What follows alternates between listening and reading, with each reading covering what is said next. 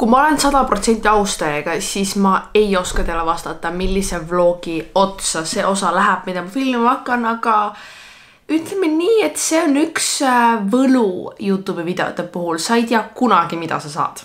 Nii et äh, siin me oleme, ma tegelikult nagu ma tahaksin järgida plaani ja panna selle, selle vlogi otsa, kus ma enda tuba ehitan. nüüd on mingi neli nädalat hiljem, ma reaalselt filmisin selle nii ammu aega tagasi ja siis mul tuli ülimitu videot järjest välja, muudkui ma lükkasin edasi seda, lükkasin edasi seda, lükkasin, tongue twister, lükkasin edasi seda ja nüüd on nagu mingi neli nädalat hiljem ja siin ma olen. täna on kahekümne esimene august, kell saab kohe üksteist. me lähme trenni, sest ma olen viimasel ajal ähm,, kuidas ma seletan, sattunud siuksesse kriisi, kus äh, ma olen kodus päevad läbi ja siis, et kompenseerida seda, et ma istun kodus, ma käin trennis ja tulen sealt jala koju et oleks võimalikult palju liikumist ja ma nagu ülekaaluliseks ei läheks kodus. nii et me lähme täna jälle trenni, kusjuures fun fact, ma käisin üleeile trennis ja mul oli jalapäev ja ma kavatsesin joosta, mida ma kunagi ei tee, sest mu põlved ei pea vastu sellele, aga ometigi nagu ma mõtlesin, et tead, täna on hea päev jooksmiseks.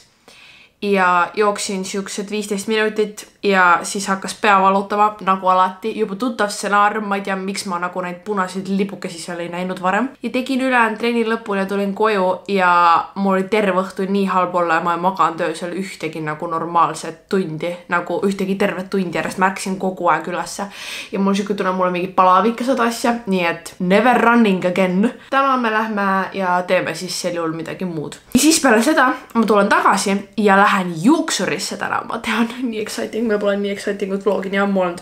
minu juuksed, let's have a chat about them. Need on praegu väga halvas seisukorras, et teile rääkida sellest, et need on paremaks läinud. reaalselt mingi aasta aega tagasi samal ajal ma olin neid nii palju sirgendanud, et kui ma pesin pead, siis mu juuksed olid lihtsalt nagu lihtsalt sirge pulk. vahest oli nagu nii natuke lainet ja siis nii palju sirget pulka. ja nüüd need sirged pulgad on ainult mu otstes. oh my god, need on nii rõvedad, need on praegu reaalselt mustad, ma vannun teile. aga siis ma käisin viimati juuksuris äh, eelmise aasta novembris, et nagu mitte päris aasta tagasi, aga nagu mingi kolmveerand aastat tagasi. ja nagu need on nii palju tervemaks läinud, et kui ma pesen ja pea nagu külle peale peale seda panen, siis sealt on näha, kuidas nagu ma ise olen nagu tähele pannud, kuna ma olen mingeid progress pilte teinud, kuidas nagu see lokkis osa on järjest suurenenud ja nüüd ongi mingi nii palju seda katkist juurt seal lihtsalt seepärast, et mu juuksed on naturaalsed siuksed, mis läheb katki. nii et long story short, ma lähen täna lihtsalt juuksurisse otsi lõikama. ma oleks võinud selle reast mingi kahe ja poole sekundiga ära öelda, aga ma tegin sellest mingi üheksa minutilise story time'i pärast kogu minu elu. ja veel kõige viimane asi, enne kui ma vait jään ja trenni lähen, ma pean teile midagi näitama. ma ostsin uue koti endale ja ma tavaliselt ei ole nii kirglik esemete suhtes. oh my god, siin on need kiled alles lukkudel küljes. aga ma olen seda kotti River Islandist vaadanud, ma ütlen kõigile poolteist aastat, ma tegelikult ei tea, kas see on poolteist aastat, ma lihtsalt tean, et see on mitu hooaega nagu mitu korda on jõudnud sügis kätte ja ma olen olnud mingi, aa, tahaksin seda kotti sügiseks osta, saad aru, mida ma mõtlen? see on alati mingi viiskümmend euri olnud, aga ma olen alati mõelnud, et kurat, Maria, et sa kannad kõik kotid nulli nii ruttu, et nagu kas sul on mõtet osta viiekümne euro eest kotti ja siis me käisime Barbaraga shoppamas ja see juhtus. me käisime poes, ma tulin koju, olin seda reaalselt kandnud ko sealt poest koju ja selle nagu mm,. kuidas see eesti keeles on um,?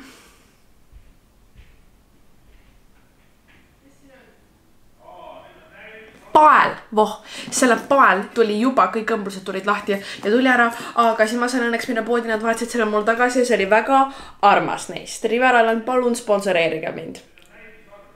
aitäh, ma nüüd lähen trenni. ma käisin trennis, oli tore trenn, aga selle vlogin, sest um, ma lähen stressi, kui ma midagi sellist pean tegema.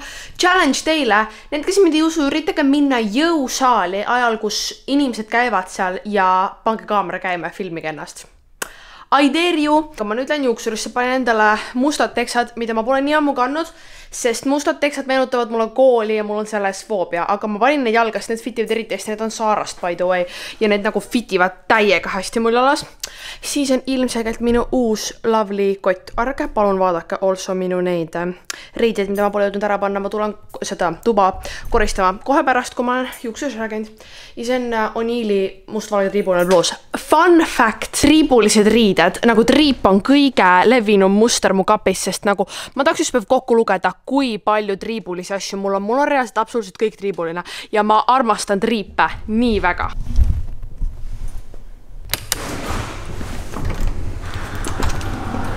ma mõtlesin, et te võite lihtsalt selle parima vlogeri auhinna mulle kohe ära anda, pole vaja siin midagi venitada, pole vaja tähelepanu pöörata sellele, et eile ma mitte ühtegi klippi ei saanud. It's fine nagu. ühesõnaga, nüüd on järgmine päev, ma käisin juuksuris, ma ei ole teile veel näidanud enda juukseid, aga me lasime sirgendada puhtalt ainult sellepärast, et mul pidi täna hommikul üheksast Victoriaga üks kohtumine olema, ma olin mingi tead boss lady vibes, whatever, et nagu lasen teha juuksed sirgeks, et see on ainus soeng, millega ma saan magada, nii et see püsib mul, eks ja siis see jäeti ära.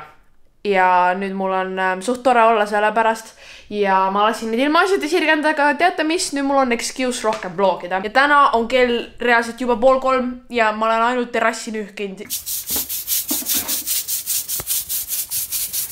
ja söönud. ja that's all. ja nüüd ma lähen jälle sööma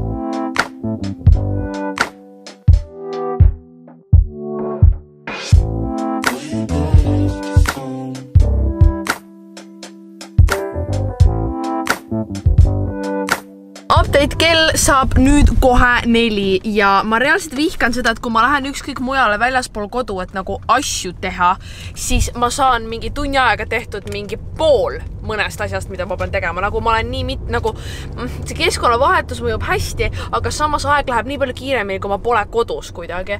ja me sõime ja teate, ostsime uusi köögiharju, jube huvitav, ma tean, onju. ja käisime Prismas ja ma tahan iga kord, kui ma lähen vlogida neid nagu plakateid, sest ma tahaksin, et see mul videosse käeks, et mul oleks mälestus ja iga kord on seal nii palju inimesi, sest kõik ostavad kooli asju ja siis osad vaatavad nagu plakatit ja vaatavad mind ja ma olen mingi jah, härra Vahi, ma olen päriselus koledam, lepi sellega lihtsalt. nüüd me sõidame koju, et samu asju kodus edasi teha ja meile tulevad jälle nädalavahetusele mingi kuusteist inimest külla ja siis me täna, ma ütlesin ka, et me täna terve selle hommiku puhastasime seda terrassi ja nüüd me ostsime igasuguseid puhastusvahendeid, et terve nädalavahetust oma äh, kodu küürida, et korra need kuusteist inimest saaksid külla tulla. enne kui me poodi läks, läksime, jäi mul siin vlogimine pooleli ja siis ma ju tahtsin teile näidata outfit'i enne kui ma kodust välja läksin, aga ma pean seda neile näitama praegu. ma reaalselt vihkan seda valgust, ma enda arust panin peegli jube heasse kohta, et valgus oleks hea, aga no ma ei tea, tundub, et nagu mitte. ühesõnaga, ma käisin vahepeal kooliriided endale ostmas ja nagu sügisriideid ja ma ei teinud kunagi sellest hauli, kuna need asjad olid nii tavalised ja mul oli tunne, et nagu kedagi huvitaks, aga need püksid ma ostsin. no kurat, jälle te ei näe väga hästi, aga nagu tulen veidikene eemale nagu siukesed, eks ole. Need on nagu need ruudulised ja need on nagu linasest, mugavast materjalist, mida kanda. sain need Reservedist, ostsin reast mingi pooled kooliriided endale Reservedist. seal on praegu ülihead mingid allahindluste pakkumised. ja see bluus on mul Bershkast, väike nööpidega sihuke button-up nende pükstega, minu meelest väga cute. mõtlesin, et jagan teiega. tere hommikust, vlog. kuna Oskar läheb see aasta kooli ja meil on tegelikult koolis koolivorm ja okei okay,, oleme ausad, mina ostan enda kooliriided mujalt, aga Oskar ostab enda kooliriideid koolivormilaadalt, kus nagu tuleb eraldi minna, mis on täna. ja kuna ta läheb esasse klassi, siis tal on nagu terve pikk list asju, mis tal on vaja osta, nagu mingeid koolitarbeid. ja nagu ma mõtlesin, ma lähen appi neile lihtsalt sellepärast, et äh, koolivorm aidata vaadata ja siis läheb kiiremini ka ja peale seda nad lähevadki ostma neid nagu kooli asju ja mul on endal ka mõnda, mingeid vaja. tegelikult ma tean, et ma peaksin vaatama, mis vihikud mul olemas on ja mida mul uut vaja on. Mart, ma lähen lihtsalt esimesele raundile, panen peast, sest nagu ma olen seda teinud kümme aastat, ei tohiks liiga keeruline olla. ja noh, siis peale seda vaatan, mida päev meile toob. ärkasin äratusega, et jõuksin minna, ei läinud täna What's new? lisaks sellele sirgete juuste dilemma on kohutav.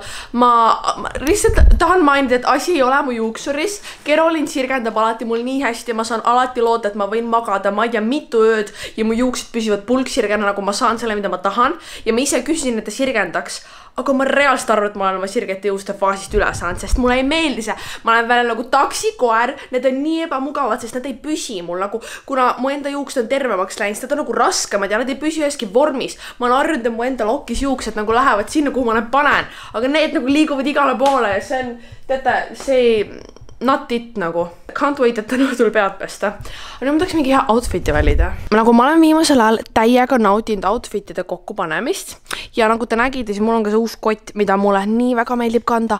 aga nagu siin üleval on veel üks kott, ma olen nii kaua oodanud nagu võimalust, et seda kanda ja iga hommik ma üritan teha outfit'i nagu selle koti ümber, aga siis ma fail in. nii et nagu täna ma tahaks ausalt öeldes proovida. Teeme outfit'i valimise Mariaga, kuna see kott on sihuke lihtne, aga samas ta on nagu sinine ja triip, siis ma ei saa panna siia mingit muud triipu, sest see oleks lihtsalt mitte fashion. ja seda kleiti ma olen täiega kandnud, tahaks midagi nagu lihtsalt, no siin on triipu, ma ei julge triip triibuga teha, sellepärast et ma ei ole veel nii hea nagu fashionis. tahaks nagu midagi super mugavat, sest ma tean, et nagu seal koolivormi ostes peab seisma mingi kakskümmend kraadi, noh kurat, jälle sihuke vahepealne see on minu struggle iga jumala hommik, ma lihtsalt, ma ei suuda otsustada, mida selga panna. teate, mis match'iks või? Holy shit, kas need on sama sinine või? aga need on erinevad sinised mm,. oleks nii tahtnud muidu äkki see mm,. Öelge nüüd ausalt, kas need ei sobi kokku? kas need on liiga erinevad? ma ei jaksa selga panna, kui ma selle pean pärast ära võtma oh,. miks see riietumine peab nii fucking stressirohke olema? Update, Tribune pluss ei work inud välja, also võtsin mikri küljest, sest me läheme kohe välja ja mul ei mahu siia kotti, see on ainus miinus selle koti juures, siia ei mahu mu mikker sisse ja veel üks update, mitte kunagi elus ei võta ma enam mikrit oma kaamera küljest ära, sellepärast et mu kõrvad ja reaalselt hakkavad verd jooksma praegu, kui ma kuulan, kui palju halvem see heli on ilma mikrita. ma alles näitan teile. mu enda mikker on nii katki praegu ja ma alles teipisin ta kinni lihtsalt sellepärast, et ma ei suuda ilma mikrita filmida. ma ei tea, mida ma enne tegin, kui ma endale mikri soetasin. nii et minu vabandused. aga pole hullu. Äh, see on OOTD ja see kott, ma ütleks teile, kust see pärit on, aga mul pole aimugi tere, Oskar! sa oled täna kooli asju ostma, kas sa oled excited juba? Iga aasta olen ma excited olnud ja see aasta, tegelikult juba eelmine aasta ma olin mingi mm, it's not it, üle-eelmine aasta see oli brand deal, nii et mulle sobis. kas me oleme kõik kindlad, et täna on kooli arvamüük mis mõttes?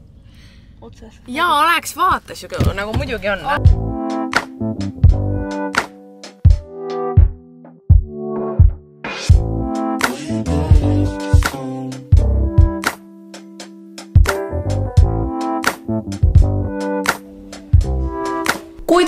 te jõudsite selle vlogi lõppu edukalt, siis reaalselt südamest tänud ja suur aplaus teile, sest ütleme nii, et see vlog oli sihuke pigem jutukas seekord. päris ausalt rääkides, mul olid lihtsalt mingid materjalid nagu mitme nädala vältel ja ma ei tahtnud neid lihtsalt raisku lasta, eriti kuna sügise lähenedes mul ei ole seda content'i lihtsalt varrukast võtta kogu aeg. ja ma mõtlesin, ma panen need kõik kokku, siis olid still mingid asjad, mida võib-olla on tore tagasi vaadata. kui teile meeldib veidike võib-olla korra korrapärasema struktuuri ja kontseptsiooniga sisu. tulge järgmine nädal tagasi, meil on vlog, kuidas ma valmistun kooliks, kahjuks või õnneks. ja ma väga loodan, et teile meeldis see vlog, kui meeldis, ärge unustage seda like ida, mu kanalit subscribe ida ning näeme teiega juba järgmisel nädalal uue videoga. tšau.